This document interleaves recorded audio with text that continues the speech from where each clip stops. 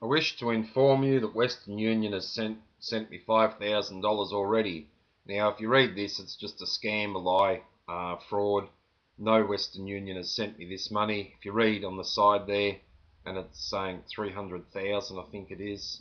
Well, you know, that's a load of bullshit also because it's just a fake scam. Um, and matching numbers and all that sort of stuff. They'll ask you for money to clear the funds, so be aware um, that it's a scam because if you give them money to clear the funds to Mr. Smith or some other fake John Jones or something, you'll just get burnt. Anyway, um, I'll post this as a fake scam.